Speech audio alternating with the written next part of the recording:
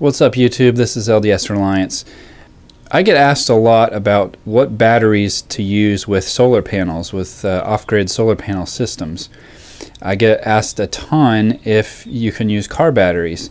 So today I want to go through four different types of batteries and kind of the pluses and minuses of using them with solar panel systems.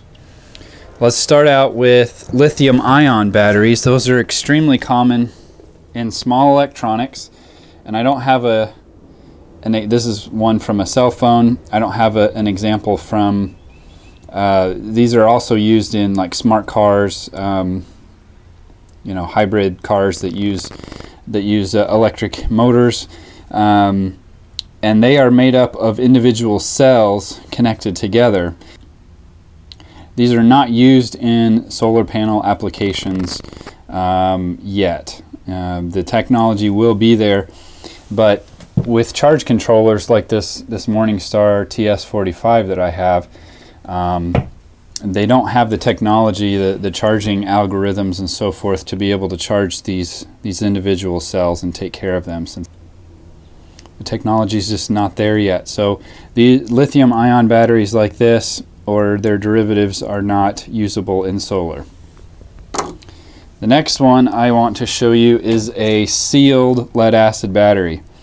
Uh, these are these are filled with fluid inside, but they they are not um, user serviceable. Basically, I know there's videos out there of how to do it, but really you can't. There's nothing you know. As I'm flipping this over on its lid, there's nothing um, to there's nothing to maintain with these. These are a little more expensive per amp hour than say, a flooded lead acid battery like that. And uh, these are perfect for using in small solar panel systems. In fact, on my smaller system, I have uh, a couple of these wired together to provide my, my battery uh, power. So these are great um, to a certain point. You don't want to use these with big systems because these are more expensive um, for the battery capacity than other options. Car batteries. Uh, these are otherwise referred to as a flooded lead acid battery. Um, they are user serviceable, so you can uh, replace the water that uh, evaporates out of these. But the difference between these and, say, these flooded lead acid batteries that are for renewable energy is, is significant. Uh, and the way I like to describe that, this is a, like a sprinter. Uh, car batteries are meant to provide a lot of juice fast. They don't last very long and they're not meant to go very long between charges. Um, so think of it like a sprinter. They run fast races quickly, provide a lot of power, a lot of juice. Um, whereas these are meant to be drained slowly over time and meant to to be drained much further down. These these you can drain down to 50% no problem over and over again. These, if you drain them more than about 10%, if they go below, let's say 11 volts or so, they're basically dead. You, can't revive them. They're permanently damaged. So you can use these in solar in an emergency if you have to, but just keep that in mind that you don't want to use these for very long.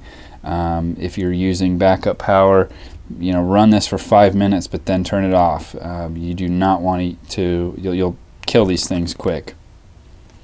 So the last option, this is my live uh, system. These are, as you can see, these are golf cart batteries, but they're basically, for all intents and purposes, the exact same as you would buy for a renewable, renewable energy dedicated type of a battery like a Trojan T105 or so something like that. These are 6 volt individually and I have them wired in series and then parallel um, to, to give me my my uh, battery bank. But anyway, that you can watch another video on that. Uh, these, like I was saying, these are like marathon runners instead of the sprinters. These are meant to go long, a long time, and, and take the abuse over and over and over again. So these are what you really want to use when you get to a certain size of a system. You do not want to you know, string together a ton of these. Now this is a smaller one. You can get bigger sealed lead acid batteries than that, but um, these are quite a bit more expensive. These are only 80 bucks a piece. So, and a similar sized sealed lead acid battery to this would be you know 150 plus so you do have to maintain these you do have to um, fill these up with fluid you can see that there's fluid in there but um, they do require a little maintenance but that these are what you want to use in a solar panel system of any significant size um, so anyway, um, like so, let's review lithium-ion technology is not there yet. Sealed lead acid, perfect for small systems. Say you've got a 20 watt panel or a 50 watt panel or, or under. These are great. Don't use a car battery unless you absolutely have to, or you don't care if it dies because you may kill it um, by over discharging it. And golf cart batteries, um, renewable energy batteries uh, telco batteries, all those kind of things. Those are meant to be, uh, or deep cycle batteries. You can get deep cycle batteries for marine use. Uh, anything that's deep cycle um, or meant to be discharged and recharged over and over and over again, that's what you want to use. That's going to save you money in the long run and take the abuse. Anyway, I thought I'd clear that up for you guys. Thanks for watching.